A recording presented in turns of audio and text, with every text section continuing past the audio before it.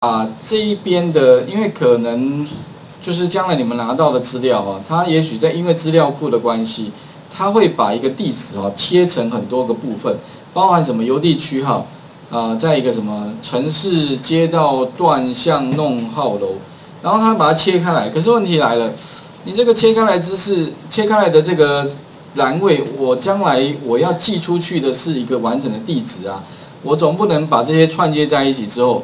哦，然后串接在一起之后的话，我寄给人家这个不合啊，所以你必须要怎么样呢？把这些资料串成一个，呃，一个合法的邮差看得懂的地址，要怎么做？OK？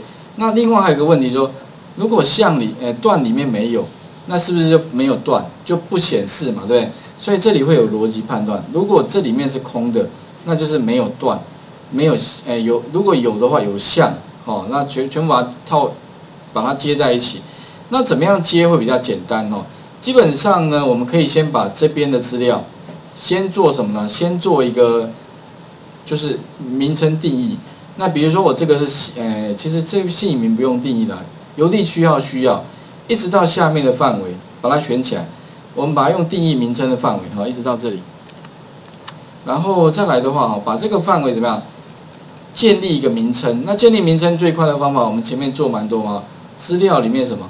资料呃不跟这样，公式里面的从选取范围建立什么顶端列邮递区号城市这些都有了，再，按确定，OK，好了之后的话呢，那我们就讲这个地方等于等于什么呢？按 F 三，第一个是什么？邮递区号嘛，所以先把邮递区号叫进来，再串接，所以串接的话 end end 什么呢？城市城市这个也固定的，所以 F 三。再来就加一个城市，好，邮递区号城市，再来 F 三，街道的话应该一定要有，所以前面三个应该都固定，一定有，再加上什么呢？好吧，更正一下，这个应该是不是加，是一个 and 符号，好，and，再来 and 后面的话呢，判断，判断什么呢？如果它是 blank 的话，那就是没有了，反之的话就是几段，对不对？所以要怎么判断呢？这边的话插入函数。插入一个 if，对不对哈？然后再加一个 is blank。不过刚刚有同学还蛮聪明的，他用什么？用空字串代替 is blank。哎，其实也可以的啊。如果里面是空字串，那表示也是 is blank。好，不过我们用 is blank 来 OK。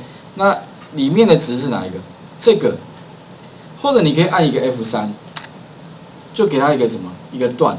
这个段就表示里面的东西，就指的就是这个储存格里面的东西。按确定。OK，这个段里面呢，如果是空字串的话，那我们要做什么呢？游标再放回去，对不对？再因为公式还没完成，如果里面是空的，那就是没东西。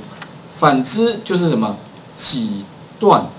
那几的话是什么？F 三，就是把这个段放进去。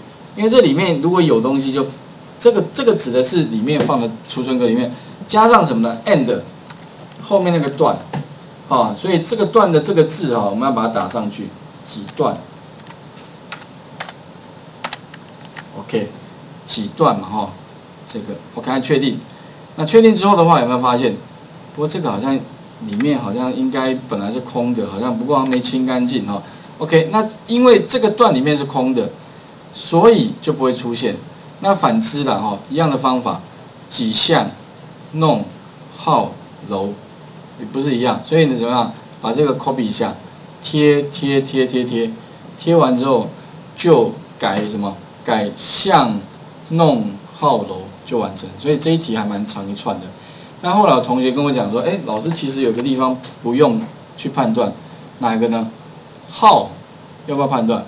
不用嘛，因为每个地址一定有号啊，没有号邮差怎么寄到你家去？所以号好像也可以不用，直接放一个号就可以了。啊，其他好像都要判断。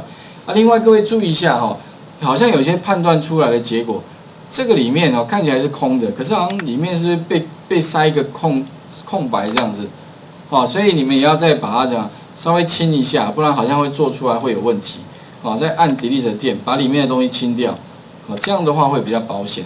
OK，这里的话，请各位试试看啊，第一步由地区号 B 栏一直到 I 栏，把它做那个建立名称范围顶端列，然后 OK，画面先还给各位一下。这个完成的画面呢，在云端白板上面也有了哈，各位可以参考哈。